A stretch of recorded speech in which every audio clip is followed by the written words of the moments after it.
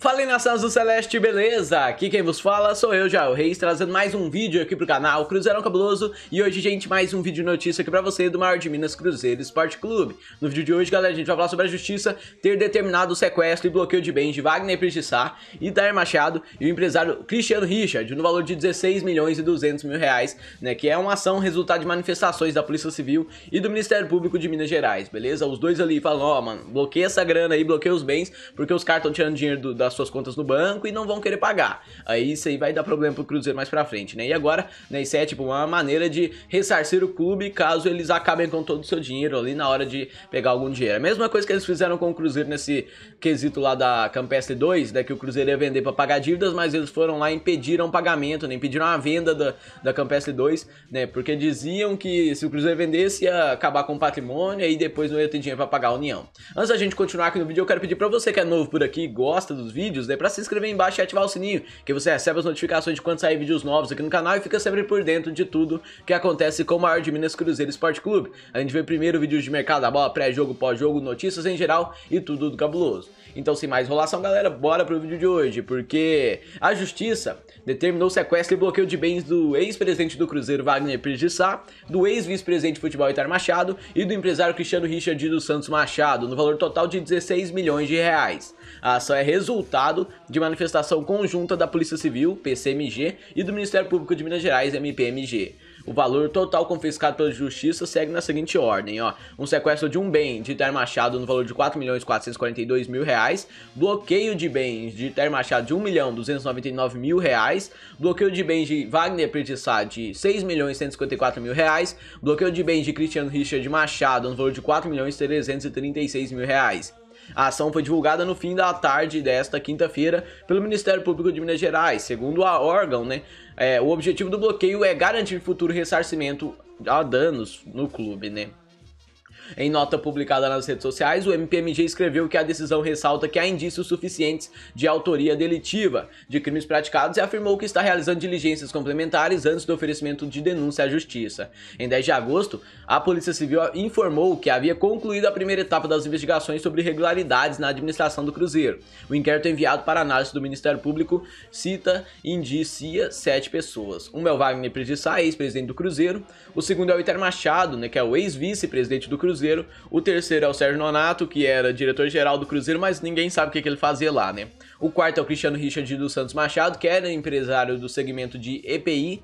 O quinto é o José João, né, na verdade. João Sérgio Ramalho, empresário de futebol. O sexto é empresário também, que é o Wagner Cruz. E o sétimo é o Carlinhos Cruz, que é o Carlinhos Sabiá, que também é empresário, beleza? Esses aí, os últimos três, são empresários, tirando o Cristiano Richard aí, né, que é empresário de sei lá do que, né? Então, assim, no último dia 11, galera, delegados da Polícia Civil concederam entrevista em que detalharam os resultados das investigações da administração do Cruzeiro. Segundo as investigações, o rombo nos cofres celestes foi de 8 milhões e 200 mil reais. Em valores corrigidos, o total chega a 10 milhões de reais. E a Polícia Civil analisou analisou computadores, documentos e mais de 50 mil e-mails relacionados à gestão indiciada. E, assim, a gestão que começou em janeiro de 2018 no Cruzeiro. A expectativa do órgão é que o inquérito que indicou sete pessoas, ou indiciou sete pessoas, seja apenas o início de uma investigação mais abrangente, que dê conta de possíveis irregularidades ainda não avaliadas. Abre aspas. A gente espera que não fique apenas com este relatório final, mas que seja o início, porque com certeza vão haver outros desdobramentos, disse na ocasião o delegado-geral Argnello Agnello, na verdade. Agnello de Abreu Baeta, chefe do Departamento de Combate à Corrupção e a Fraudes da Polícia Civil de Minas Gerais.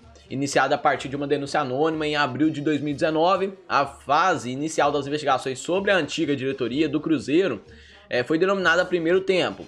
E nela, os delegados da Polícia Civil identificaram irregularidades em seis casos, beleza? Uma é a relação com o Cristiano Richard dos Santos Machado. Naquela vez que ele emprestou 2 milhões pro Cruzeiro, o Cruzeiro tinha até dezembro para pagar, né? E aí chegou em junho o Cruzeiro falou, não tenho, viu? Então toma aí direito do Gabriel Brazão, do Raniel, do Murilo, né? Do monte de menino da base do Cruzeiro, menino que valia muita grana, como Kaká, geral, né? Maurício, um monte de gente, viu? Então, tipo, o cara emprestou 2 milhões e ia ganhar 50 aí, né? E o número 2 é a negociação envolvendo o Mike pro Palmeiras, né? Porque, tipo, tem um cara lá que recebeu uma grana, mano. Se eu não me engano, era o Carlinhos Sabiá, né? que recebeu esse dinheiro, viu? O Carlinhos Sabiá recebeu o dinheiro, só que ele nem intermediou a negociação, né? Tipo, ele recebeu, ah, você intermediou, toma aqui. Não, mas aí ele não é nada do Mike, ele não é empresário do Mike, ele não é nada, viu? O Mike não tem culpa, a culpa é desse Thay Machado e dele mesmo, viu?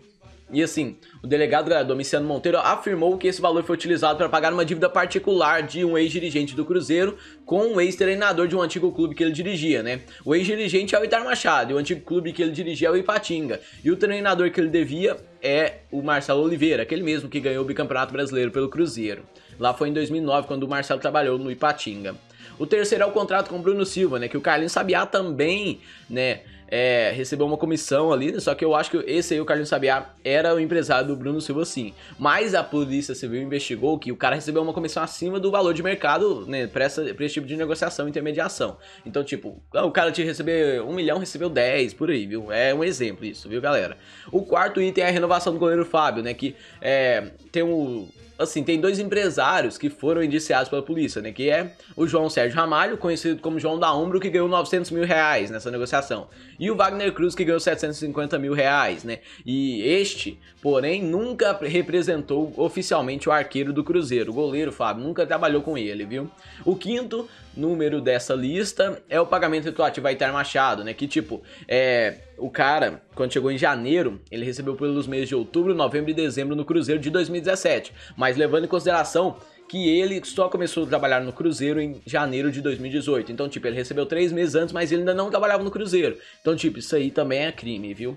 E o sexto é o pagamento de advogados particulares, né? Por parte né, do do próprio Iter Machado, né? Porque o último tópico apresentado pelos porta-vozes da Polícia Civil foi sobre a utilização de recursos do Cruzeiro para pagamento de advogados que atuaram para defender interesses particulares dos ex-dirigentes, como Iter Machado, o próprio Wagner, né? É mais o Iter Machado, sim, viu, galera? Então, tipo, a hora tá chegando, a gente tá sabendo, né, mano? Vai ser muito bom, né, quando esse cara né, pagar pelo que ele fez pelo Cruzeiro, eu vou, vou estar aqui feliz demais, vou fazer mais vídeos sobre isso, né? E eu estou aqui só esperando, viu? Ah, as investigações já estão andando muito, né? Já bloquearam 16 milhões de reais dele, dos seus empresários aí, né, galera? E pra você ver tanto de coisa errada, mano. Tipo, eles não só roubaram pra eles, né? Como eles deram pra muita gente. Parece, ô, Cruzeiro aqui, toma aqui, mano, ó. É um salário de 15 mil por mês, toma aqui um de 30, um de 50, o que é que eu sei? Que que... Aí o cara fala, o que, que você quer que eu faça o Cruzeiro? Que, qual que é a minha função? Ah, você que sabe, mano. Vai embora, pode dormir na sua casa lá, que eu vou te pagar todo mês o dia que na sua conta. Ah, pelo amor de Deus, né? O cara falou, eu vou te pagar, mas quem pagava era o Cruzeiro e por isso que a gente tá aqui nessa crise financeira, né?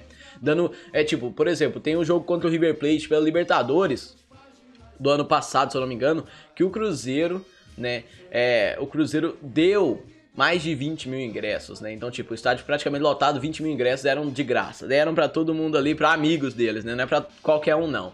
Né? Então, tipo, isso aí é muito, uma coisa muito feia. Tomara que a polícia aí é, termine logo essas investigações aí, que punam-os da melhor maneira possível. Então, galera, esse foi o vídeo de agora. Obrigado você que assistiu até aqui. Se gostou, deixa o like aí embaixo. Se ainda não foi inscrito no canal e gosta dos vídeos, se inscreve aí embaixo também e ativa o sininho, que você recebe as notificações de quando sair vídeos novos aqui no canal e fica sempre por dentro de tudo que acontece com o maior de Minas Cruzeiro Esporte Clube. A gente vê primeiro vídeos de mercado da bola, pré-jogo, pós-jogo, notícias em geral e tudo do cabuloso. Então é isso aí, nação. Obrigado a todos. Valeu, até a próxima. Fui!